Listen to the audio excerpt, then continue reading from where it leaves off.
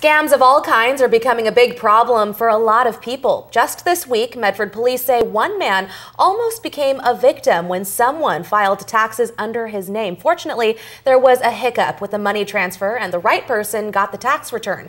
Tax fraud, one of many scams prevalent in our community.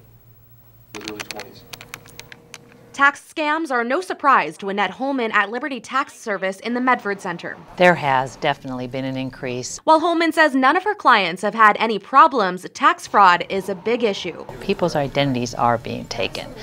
So it's a scary thing. On Thursday, Medford police even issued a warning on social media. It seems like the scam artists are just relentless. Police telling people about popular scams. They're just really hitting a lot of folks in various different ways. One tactic that's being used, posing as a buyer on sites like Craigslist. Often the scammer claims they sent too much money for whatever they're purchasing. Anytime they overpay you and you have to send money back to them, it's a scam 100% of the time.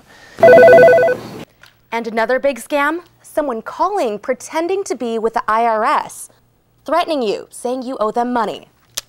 But Lieutenant Mike Budreau with the Medford Police Department says one of the red flags. Then when you find out that your the method of payment is going to be by these green dot or prepaid Visa cards, then you finally realize it's a scam. Budreau says government agencies don't put out threatening phone calls. And if you think a scammer is trying to get the best of you, just hang up.